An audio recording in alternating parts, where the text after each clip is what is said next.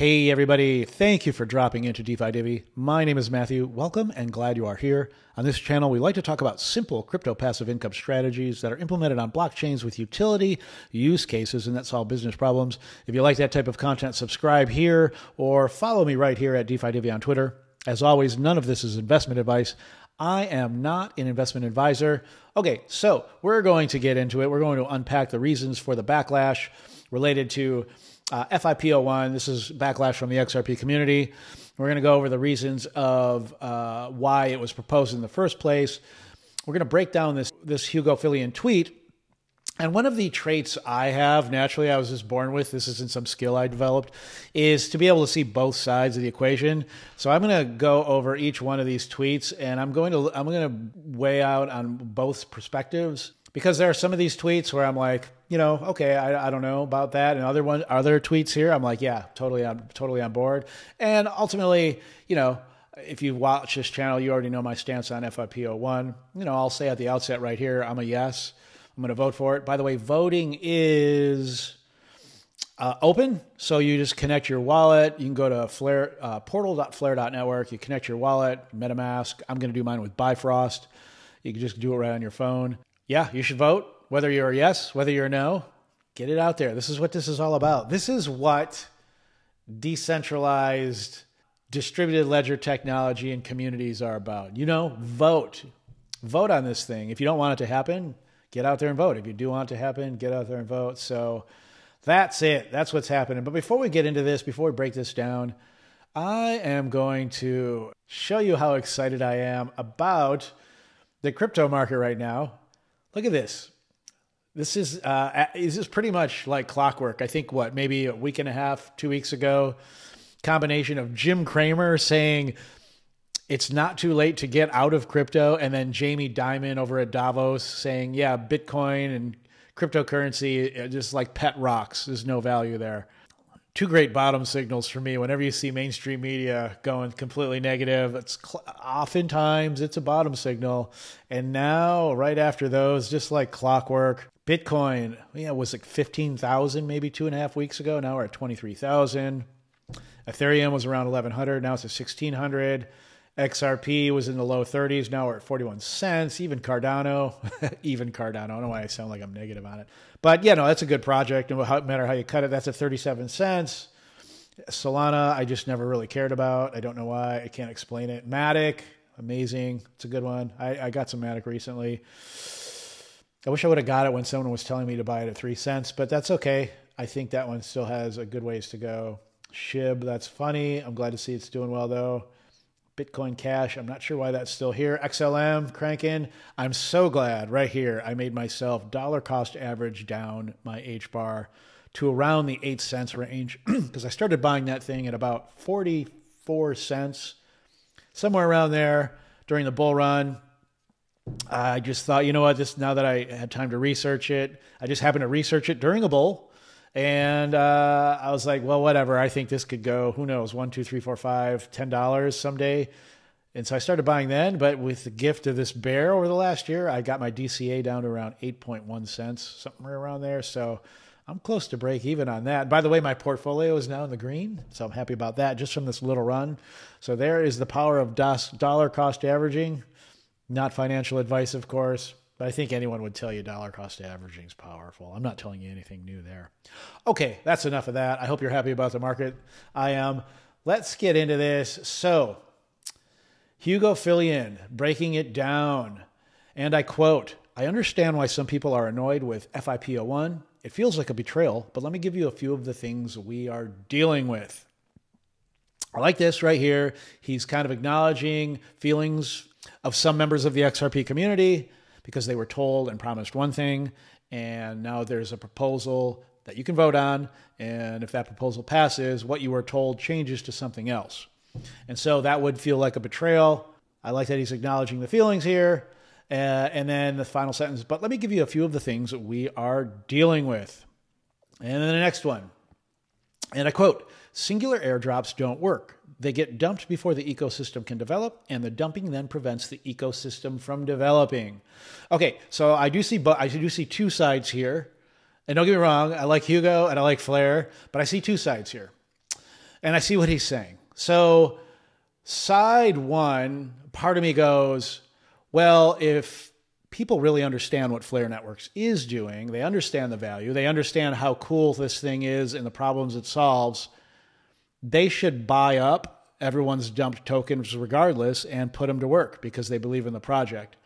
I, I do believe that's true. But what Hugo is saying, well, is if we if this proposal passes and we force the airdrop recipients to delegate instead of them selling and in hopes that other people discover how powerful the project is and buy those dumped tokens, this does make it easier to provide liquidity and, and pump pump the uh, the price providers, if you will, because they're going to need incentive incentives to run the infrastructure to run those price provider apps and nodes. And that liquidity without that liquidity there's a greater chance it can dump. Now yeah so that that's there's two sides there. That liquidity ideally should come in just from people going this thing's super valuable. I'd be dumb not to buy this. But with this proposal it kind of gives the thing a chance in case in case those people aren't around to buy it so if this proposal fails what needs to happen is some real clever growth hack and pr to keep getting the word out there uh, and raise awareness to the entire crypto community of how powerful this thing is so liquidity can get in there as quickly as possible so others will buy all the tokens that are being dumped. Okay, let's move on to the next tweet. Uh, and I quote The prior 36 month automatic distribution model is flawed as it seems that no additional work has to be done to receive the token and hence continued excess liquidity. So, this one here probably many in the XRP community, or not many, but the ones who are feeling betrayed, if you will, probably think something along these lines. And I thought this too, right? It's like, well, I wish you would have seen this flaw when you originally were were offering this airdrop, because many of us may have considered this in our decision to move around our XRP to be able to qualify for the airdrop. Like some people didn't have to do any moving around. Maybe they just kept it on exchange, or maybe they already had theirs in a Ledger Nano. I am not a big Ledger Nano fan, so I actually did have to move around XRP. I moved it from a Trezor to a Nano, and then I kind of moved it back off my Nano to my Trezor, and now I have this XRP going back and forth. That's not, you know, it's not like epic whale stuff, but at the same time, I'm sure it's, you know, it's just a movement of value that probably it could be like, why is this XRP moving? I don't know. No one wants to do that. Now, on the other side, I can see how Hugo did not know possibly that this was flawed because this was originally proposed. Really, it was just like, well, this is just going to be DeFi capabilities for XRP, and then a few other coins, you know, the Litecoin and Doge. But it's changed into so much more than that. It's actually a completely different project now. It's really it still offers all that, but it offers with the state connector. The whole the whole thing is right now is just about connect everything and connect not only blockchains interacting with with each other, talking to each other through the Flare network, but also Web two projects being able to talk to blockchains through the Flare project. For example, what, what, what, what does that look like? So I don't know any other blockchain right now. Maybe maybe something through Chainlink possibly, but not done this well where you could have like let's say a use case example. Let's say you wanted to have your crypto auto willed to someone else. You didn't want to go through, you know, government probate, blah blah blah blah, to have the crypto done. Well, imagine a day where there is a the ability to connect to some sort of Web two application that is that says, "Oh yeah, this person is officially deceased." The consensus is decentralized, and that's verified as true. And now that triggers a smart contract, and then it automatically says, okay, well, when that happens, we're going to move a, an amount of Bitcoin and Bitcoin value from this deceased account to the person's children, if you will. So it's things like that that we can't even think of. There are so many possible use cases. That's just one that comes to mind. But I think ultimately we just wish that the flaws in the distribution model would have been figured out back then, long ago, when we were originally offered the airdrop. And I get it. Startups, they kind of figure things out as you go along. No one can see everything in the road. If you're if you've ran a startup, if you've ever tried to start a business, you figure it out as you go along. Because if you try and figure it all out before you start, you're just not going to go anywhere because it's impossible. You only can see each turn as it comes up on the road. You can't see like 20 turns ahead. Okay, and the next one, uh, and I quote by Hugo FIP01 intends to solve the issues with a prior model whilst minimizing the effect on the original intended recipients. It lowers inflation massively, less overall tokens. It allows for smoother redistribution from those that don't want the token long term than those that do. Yeah, I get rid of that. So you're solving the issues with the prior model and then smoother distribution for those who just want to delegate and wrap and keep this thing long term. I fall into that camp, which is probably why this proposal never really bothered me that much and actually turned into a yes as the more and more I researched it and the more and more I got into Flare.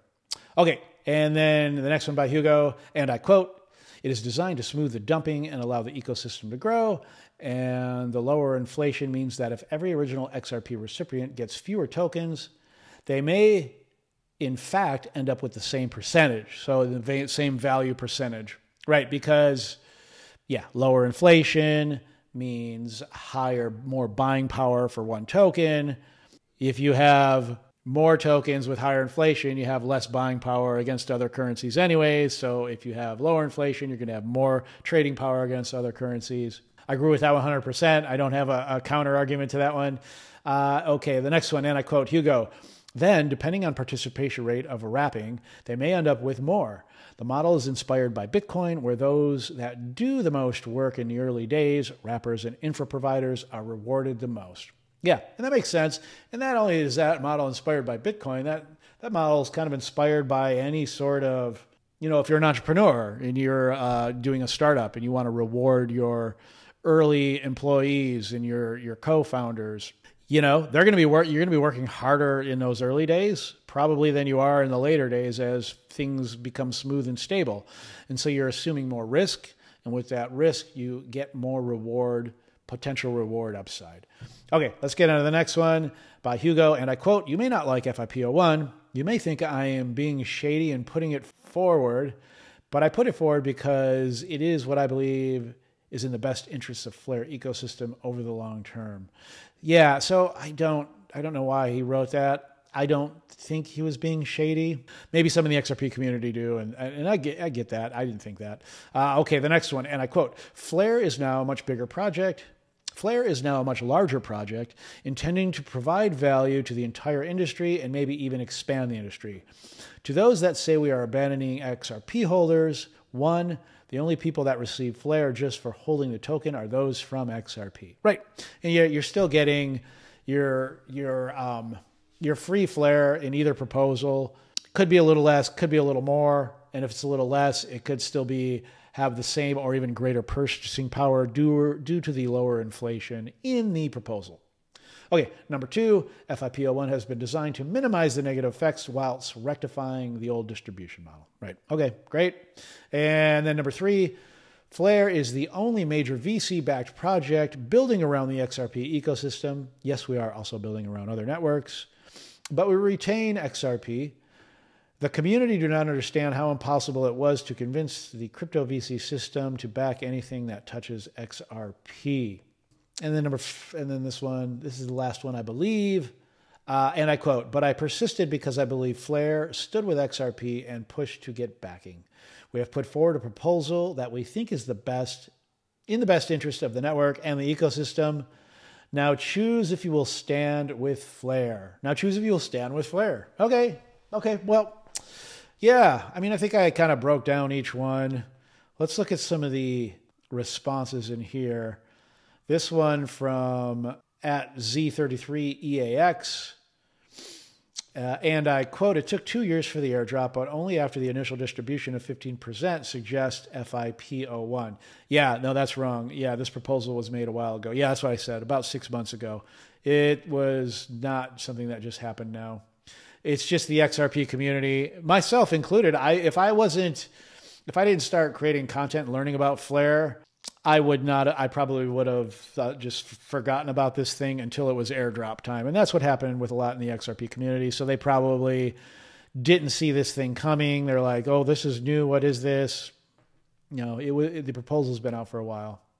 Okay, yeah. And this response from Mickey B. Fresh, big influencer in the XRP community and the Flare community. I highly recommend following this channel if you're not already, and also checking out uh, his website And I quote This clip is from an interview with Tony from Thinking Crypto, recorded 18 months ago. If you are truly interested in Flare and have followed content regarding Flare, FIP01 should not come as a total surprise.